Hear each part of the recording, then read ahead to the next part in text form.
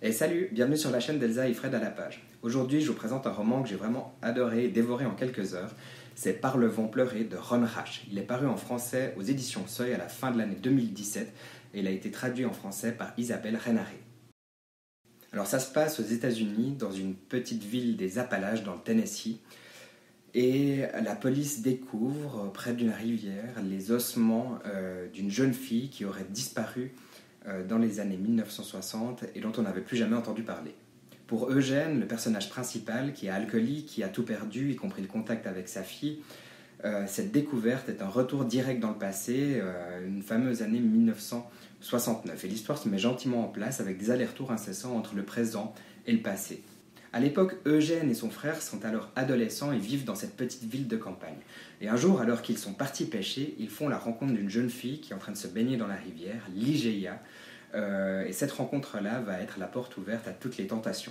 on se trouve à la période hippie et cette jeune fille séduisante euh, va les emmener sur le chemin euh, de l'alcool, de la drogue et du sexe.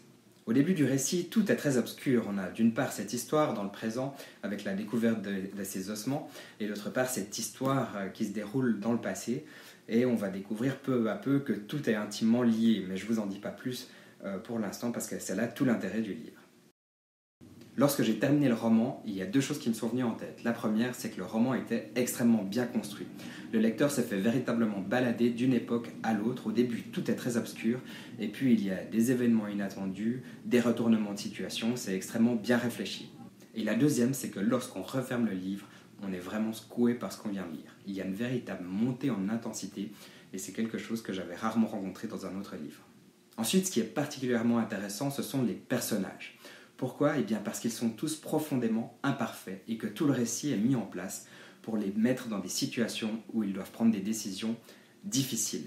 Et comme le roman euh, se déroule à la fois dans les années 60 et à la fois 40 ans plus tard, eh bien le lecteur, peu à peu, peut euh, prendre connaissance des conséquences de ces décisions qui ont été faites à l'époque. Donc c'est vraiment ça l'imperfection euh, de ces personnages qui m'a marqué dans ce récit. Outre ces questions morales, eh bien, ce sont les relations même entre les personnages qui sont très intéressantes, notamment la relation entre les deux frères qui est empreinte de rivalité aussi bien à l'époque que 40 ans plus tard, et puis évidemment la relation avec cette jeune fille, Ligeia. Euh, il y a un côté euh, initiatique, adolescence, avec les premières expériences du sexe, de la drogue, de l'alcool, euh, qui est très intéressant. Elle attend. Chaque printemps, les fortes pluies arrivent et la rivière monte, et son cours s'accélère, et la berge se désagrège toujours davantage, brunissant l'onde de son limon, mettant au jour une nouvelle couche de terre sombre. Des décennies passent. Elle est patiente dans sa coquille de bâche bleue. Chaque printemps, l'eau clapote plus près, décolore les racines, dégage les pierres, érave les polis. Elle attend et un jour apparaît dans la berge un lambeau de bleu, puis plus de bleu encore. La pluie s'arrête et le soleil se montre, mais elle est prête désormais, la berge tremble un instant et se soulève, et les filaments de bâche se déroulent et elle se déverse dans le courant, et elle est libre.